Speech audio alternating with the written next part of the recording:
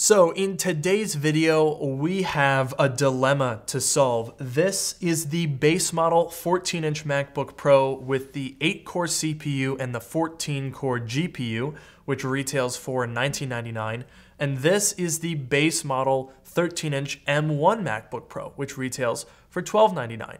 Now, when Apple announced the configurations for the new generation of MacBook Pro, I noticed a decent number of comments from people who were disappointed. They said, hey, look, I'm spending $2,000 on this thing, and I can't even get the full 10 core CPU and the 16 core GPU. What the heck is this? So here's the question that I want to answer today. It's it's twofold. Number 1, is the base model 14-inch MacBook Pro a good value? Is it pro enough?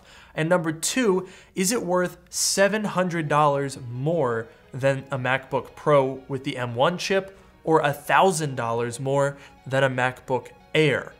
Today, we're to find out.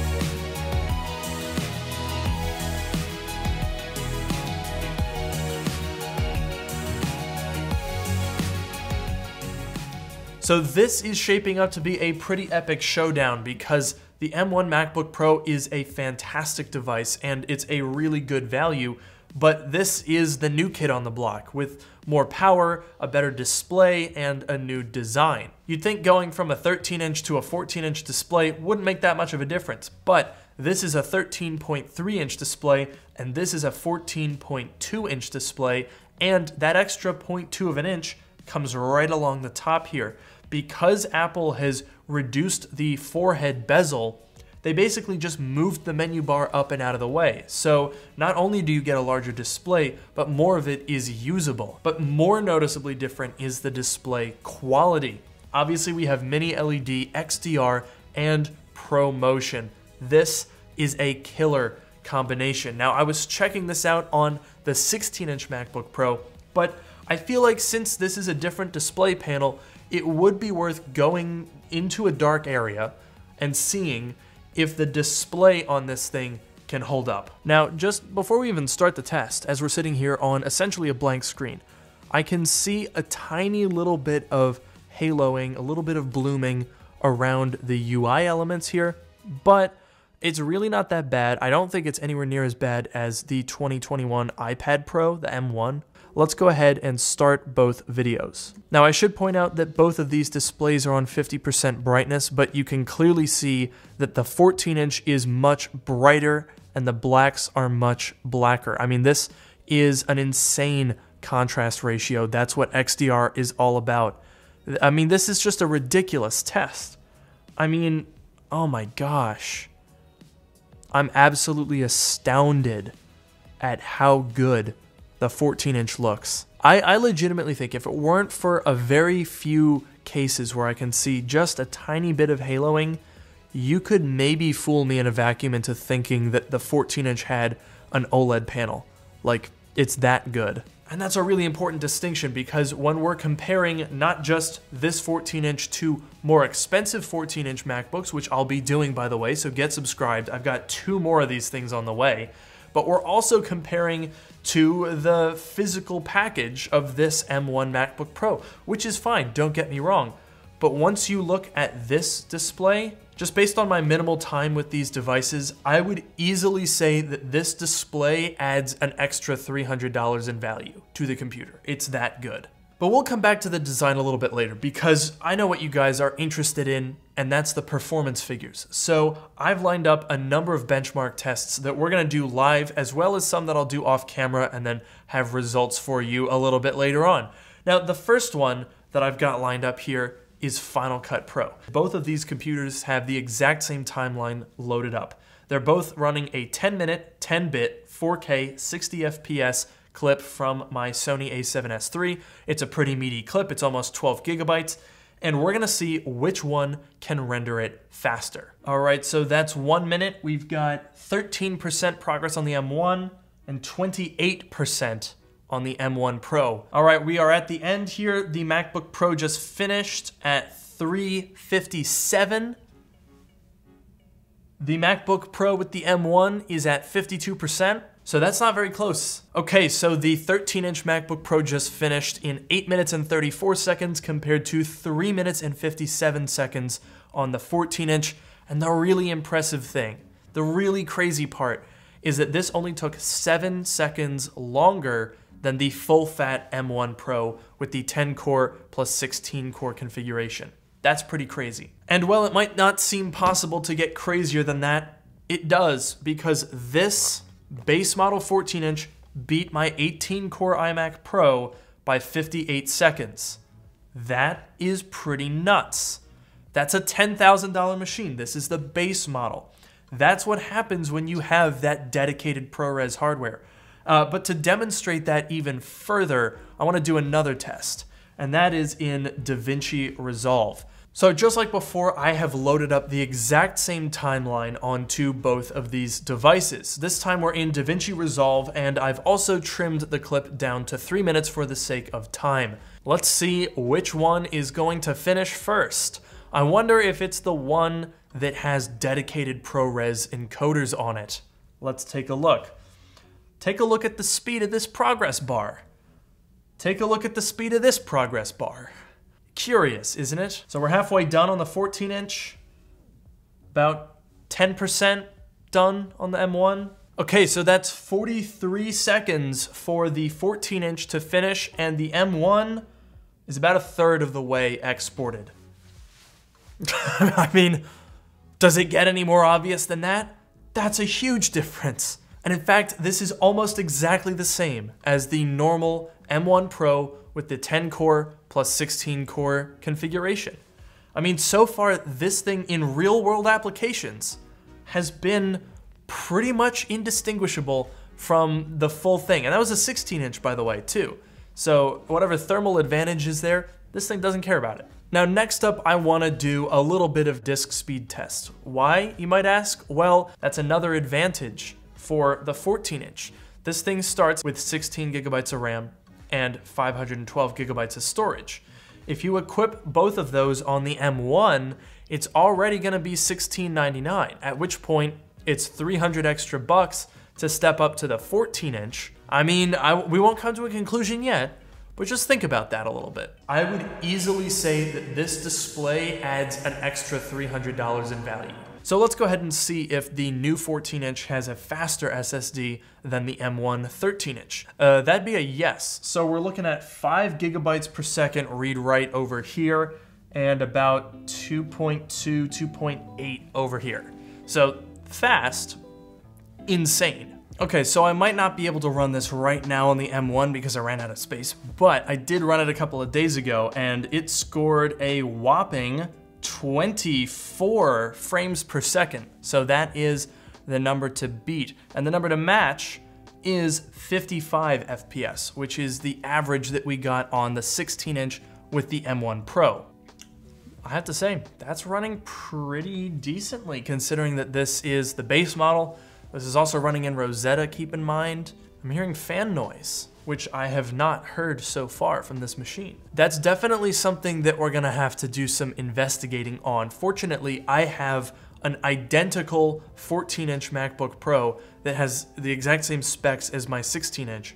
So that should allow us to figure out how different those two machines are in their thermal performance. Definitely make sure to get subscribed because you won't want to miss that. Ooh, that is very interesting. We got 51 FPS. That's just four lower than what the M1 Pro 16 inch did.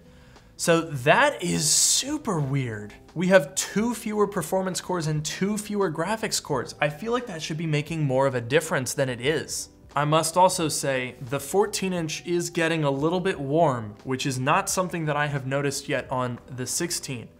Ooh, this, this video is so far giving me a lot of interesting ideas about what I'm gonna look at in the next video. All right, so next up we have Blender, and specifically this one is a pretty quick render. It's the Mr. Elephant Eevee render, and I've run this on a number of machines. It doesn't take a whole lot of time, but I am interested to see how much better the 14 inch base model is compared to the 13 inch base model. Okay, and let's begin. Okay, so the 14 inch took 35 seconds and the M1 took 51 seconds. Once again, a very interesting result, and we have significant improvement from the 13 inch to the 14 inch, but once again, this was only one second slower than the full fat M1 Pro 16 inch.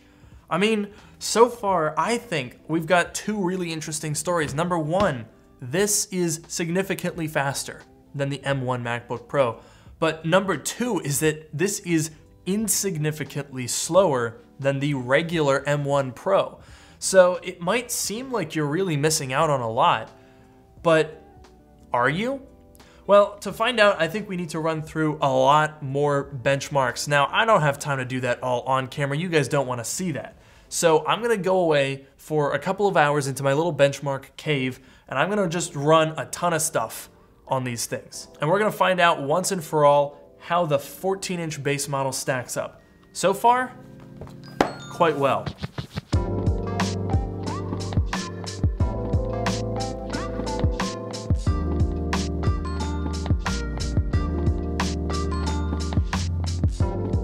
Well, hello, I've emerged from the benchmark dungeon, and boy is it interesting. I mean, this thing is such a good and also slightly confusing machine because in a lot of ways, I can't tell the difference between this and the more expensive M1 Pro. And then in other ways, I can really tell the difference. So I mean, let's just jump into it. So starting with Cinebench R23, in the multi-core test we scored 9579, which is a good 3,000 points lower than the full 10-core CPU. Now, as you might imagine in single core, it's basically a wash. 1532 compared to 1533. It's identical. When we move over into Geekbench 5, we see similar results. 9961 in the multi-core compared to 12,502 on the M1 Pro 10-core. And then again in single core, we got 1770 versus 17 08. In Geekbench Compute, however, we do see a pretty substantive difference. This guy scored 38,876 compared to 41,856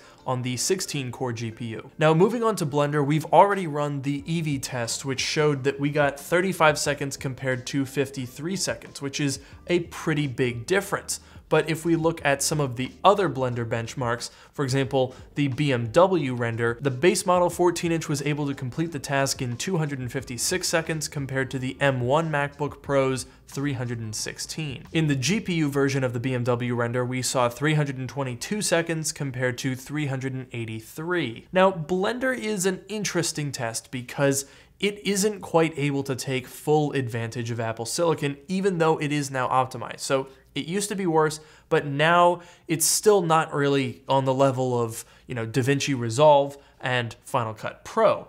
However, there are noticeable gains with the 14 inch and particularly over longer periods of time where you tend to notice these more. So in the Eevee test, it was a matter of a couple of seconds, but by the classroom test, we're talking about multiple minutes here. Now moving on to some apps that are well optimized, as we saw earlier, the 14 inch absolutely smoked the 13 inch in a Final Cut Pro render, and when it came to exporting, the gap got even bigger. The 14 inch exported our clip in 157 seconds compared to 750 on the M1 MacBook Pro. That is an absolutely massive difference, and it's one that you would notice all the time. And it's not just a massive difference compared to the measly M1, but also the beastly 18 core iMac Pro. I mean, this is the entry level 14 inch, and it smoked every other Mac that I have ever used with the exception of, of course, the full fat 10 plus 16 M1 Pro. Now moving on to GFX Bench for some graphics tests, which I was really curious about with the 14 core GPU,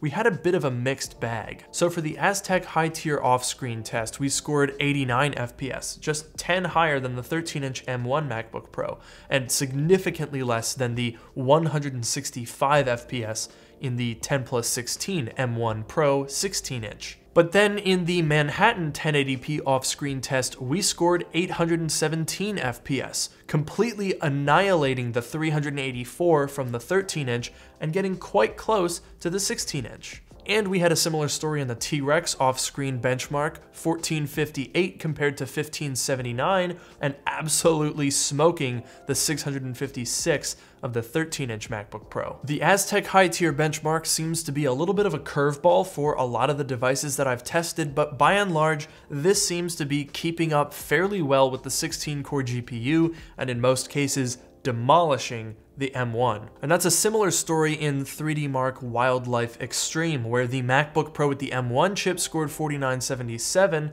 and the 14-inch scored 9189. So it's not quite double, which is what we saw out of the 16-core GPU, but it's really close. It's very competitive. And finally for graphics, we have the Basemark GPU test where the 14-inch scored 4418, a little bit more than double the 2205 in the 13-inch MacBook Pro, and quite close to the 4883 in the 16-core GPU. And then finally, we have some Rosetta tests to see how well this thing holds up when benchmarking in non-optimized applications. First, we have NovaBench, where we saw a score of 2458, which is only marginally higher than what we saw on the 13-inch MacBook Pro. And then over in V-Ray CPU, we scored 6019 compared to 4809 on the 13-inch and 7627 for the 10-core CPU. So clearly we can see some of the differences between not just the M1 and the 14-inch, but between the 14-inch and the full 10-core CPU, 16-core GPU M1 Pro. Now, so far, I have to say, given that it costs $300 to go from this spec to the full fat M1 Pro, I don't necessarily think that you need to make that upgrade. This is really solid performance, and in most real world cases, you wouldn't even really notice the difference. If you're just trying to do Final Cut Pro or DaVinci Resolve, this thing has some serious grunt thanks to the fact that it has that M1 Pro uh, ProRes encoder and decoder built into it. So I'm gonna be investigating the 14 inch form factor quite a bit. I've actually ordered three of these things. I've got this one, the base model. I've got the mid-tier one, which has the upgraded 10 plus 16 M1 Pro, as well as a terabyte of storage. And then I've also ordered the least expensive M1 Max configuration, the only M1 Max computer that you can get for sub $3,000. And so I think that's going to be a really interesting shootout. Make sure to get subscribed so you can see the three-way ultimate value champion 14-inch MacBook Pro competition. And as usual, don't forget to like, comment, and subscribe. Follow me on Twitter at Luke Miani, and I'll see you guys in the next one.